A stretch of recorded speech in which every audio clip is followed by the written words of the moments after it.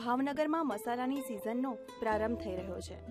ફેબ્રુઆરી મહિનાની શરૂઆતથી જ મસાલાના વેપારીઓ અહીં પડાવ નાખે છે. શહેરથી દૂર, તળાજા, જકાતનાકા અને નારી ગામે મસાલાનો ભરપૂર વેપાર થાય છે. મરચાના વેપારીઓ મોટે ભાગે ગોંડલથી મરચું લાવે છે. જો કે ગત વર્ષે વરસાદ ઓછો થવાને લીધે મરચાનો પાક નહિવત પ્રમાણમાં થયો છે, જેને લીધે મરચાના ભાવમાં ભારે ઉછાળો આવ્યો છે. મરચાના ભાવ પ્રતિ કિલો નેવથી એકસો પચાસ રૂપિયા સુધી પહોંચ્યા છે. છતાં મોંઘવારીનો માર સહન કરીને પણ ભાવનગરવાસીઓ પોતાની પસંદગીના રેશમપટ્ટો અને કાશ્મીરી મરચા ખરીદવા ઉમટ્યા છે.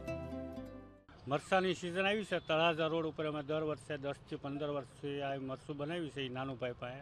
અંબિકા મરસાવાળા ત્યાં બહુ સારું મરસું અને બધું સરસ આવે છે. આખી સિઝનમાં ભરાય એવું. અમે આ મરસું બધું બોમ્બે મોકલી છે. ભાવનગરમાં મરચાના વેપારીઓ દ્વારા બહારથી લાવવામાં આવેલા મરચાની સફાઈ કરીને સ્થળ ઉપર જ દળી આપવામાં આવે છે, જેને લીધે સ્થાનિક મહિલાઓને રોજગારી પણ મળી રહે છે. ભાવનગરથી મરચાની ખરીદી કરનારા ગ્રાહકોનું કહેવું છે કે અહીંનું મરચું ખૂબ જ સ્વાદિષ્ટ હોય છે, જેને લીધે મહાનગર મુંબઈ સુધી આ મરચું પ્રખ્યાત છે. મરચાની સિઝન આવી છે ને અમે બધા લોકો મરચા ફૂલ વાવી છીએ. પેલા ડીટિયા તોડી પછી તડકે સૂકવી, ખરાબ હોય મરચું કાઢી નાખવી અને સૂકવી દઈને અમારી દાઢી ચાલે છે.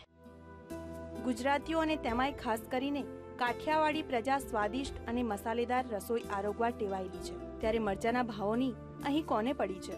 મરચાની ખરીદી તો આ સ્વાદ પ્રેમી પ્રજા કરશે જ. નીતિન સોની વીટીવી ભાવનગર.